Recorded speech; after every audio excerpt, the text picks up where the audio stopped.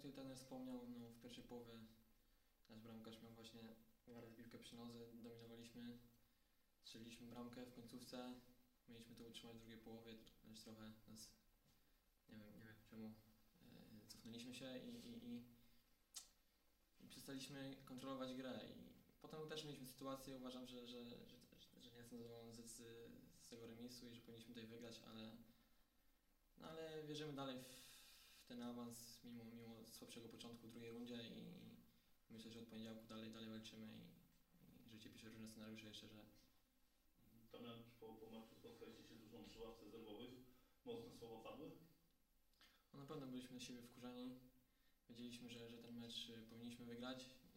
No i padło parę, parę, parę, parę mocnych słów, no, no tak powinno być. Są nerwy, są emocje, każdy walczy, żeby było zwycięstwo. Nie udaje się, no to wiadomo, że, że, że słowa